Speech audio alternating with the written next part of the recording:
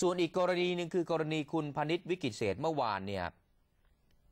เชิญสื่อมวลชนไปแถลงข่าวที่โรงพยาบาลสมิติเวชคุณพนิษฐ์ก็บอกครับบอกว่าคือผู้สื่อข่าวถามบอกสภาพร่างกายเป็นยังไง ตอนอยู่ในคุกเรือนจำไปสรอคุณพนิษฐ์บอกต้องปรับตัวเยอะห้องพัก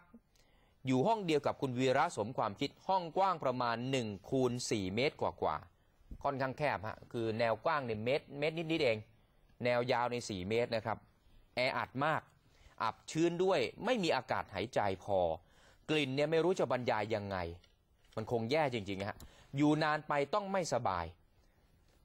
มื้อสองมื้อแรกต้องทานอาหารคุก เป็นต้มจับฉายใส่สาหร่าย น้ำก็เค็มมากข้าวก็หัก กัมพูชาก็ส่งเจ้าหน้าที่มารักษาความปลอดภัย เป็นกรณีพิเศษเนื่องจากเกรงว่านักโทษอื่นจะเข้ามายุ่งเกี่ยวขณะเดียวกันไม่คิดจะหนีอยู่แล้ว ถือเป็นโชคดีที่เจ้าหน้าที่ราชทานดูแลเป็นอย่างดี จิตใจดีแสดงออกถึงความเป็นมิตรที่ดี ข้อมูลข่าวสารก็แทบจะไม่ได้รับทราบอะไรเลย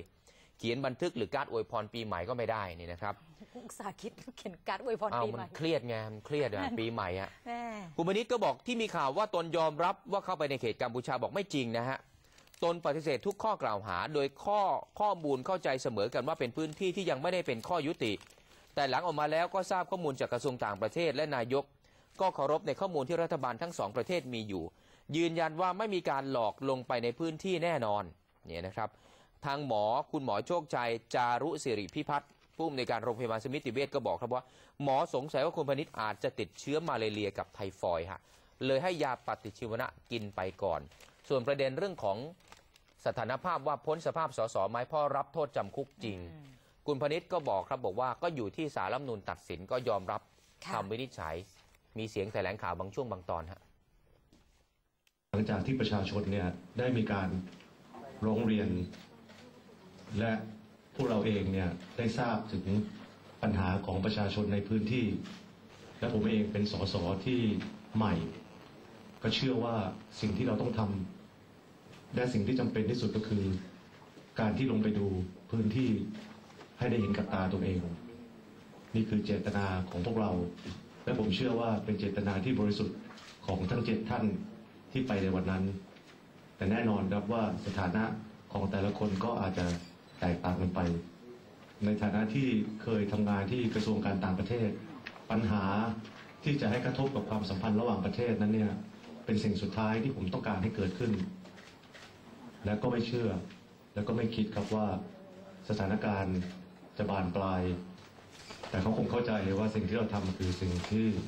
เป็นประโยชน์ แล้วก็ทำด้วยความบริสุทธิ์ใจ นะคะมาดูบรรยากาศงานเลี้ยงพักร่วมรัฐบาลเมื่อวานนี้นะคะตอนเย็นๆเข้าไปจัดงานเลี้ยงกันที่โรงแรมพลาซ่าแอตทินีนำโดยพรรคประชาธิปัตย์นะคะเป็นเจ้าภาพจัดงานเลี้ยงรับรองสสแล้วก็แกนนำของพรรคร่วมรัฐบาลด้วยครับตั้งแต่ช่วงประมาณ6โมงเย็นค่ะ ก็ทยอยมากันอย่างคับคั่งทีเดียวนะคะจากพรรคชาติไทยพัฒนาหัวหน้าพรรคใหม่เองคุณชุมพลศิลปอาชา มีพลตรีสนั่นขจรประศาสน์ด้วยนะคะภูมิใจไทยก็นำโดยหัวหน้าพรรคคุณชวรัตน์ชาญวีรกูล มีคุณประจักษ์แกล้วกล้าหาญมาด้วย คุณศุภชัยโพธิ์สุพรรคเพื่อแผ่นดินนำทีมโดยคุณไชยยศจิรเมธากรค่ะพักรวมชาติพัฒนานำโดยนายแพทย์วรรณรัตน์ชานุกูล หัวหน้าพักเช่นกัน คุณประดิษฐ์พัทรประสิทธิ์ คุณวินัยพัทรประสิทธิ์นะคะพักมาตุภูมิก็มีคุณมั่นพัฒโนไทยพักกิจสังคมนำโดยคุณวารุษศิริวัตรคุณสมเจตลิมประพันธ์ก็มากันเยอะนะ ประชาธิปัตย์ก็มีคุณสุเทพ แล้วก็แน่นอนท่านนายกนะคะตามมาในช่วงค่ำๆ ในรายงานเขาบอกอย่างนี้ค่ะ ที่มีการนัดกันเนี่ยเพราะว่าวันนี้จะมีการประชุมร่วมรัฐสภา ที่มาของสสสูตรเนี่ยจะเป็นไปตามประชาธิปัตย์อยากได้ อย่างที่กรรมาธิการเคยผ่านมาแล้วหรือไม่เรื่องแก้รัฐธรรมนูญนั่นแหละอ่านะคะก็เลยมีรายงานข่าวออกมาว่าหลังจากที่คุณสุเทพเนี่ยนัดแกนนำพักร่วมรัฐบาลเคลียร์ใจ เรื่องที่มาสสก็ล่าสุดพักร่วม ยืนยันเห็นตรงกันนะคะว่าจะหนุนมาตรา 93ถึง98 เกี่ยวกับที่มาของสสตามมติของคณะกรรมาธิการพิจารณาแก้ไขรัฐฐธรรมนูญ นั่นก็คือจะมีสสระบบเขต 375 คน สสบัญชีรายชื่อ 125 คน ตกลงพักร่วมเนี่ยตอนแรกอยากได้ 400 บวก 100 นะคะ ไปเป็นมามาโอเคตามนี้ก็ได้ คุณสุเทพตามรายงานข่าวนะบอกว่าคุณสุเทพเนี่ยรับปากกับแกนนำพักร่วมรัฐบาล ว่าพอแก้ไขรัฐธรรมนูญเสร็จกฎหมายลูกออกนะก็พิจารณาผ่านร่างพรบงบรายจ่ายประจำปี 55 เรียบร้อย จะยุบสภาเพื่อเลือกตั้งทันทีนะคะยืนยันว่าในการจัดตั้งรัฐบาลครั้งหน้า ทุกพักที่เคยเป็นพักร่วม จะได้กลับมาเป็นรัฐบาลร่วมกันอีกครั้ง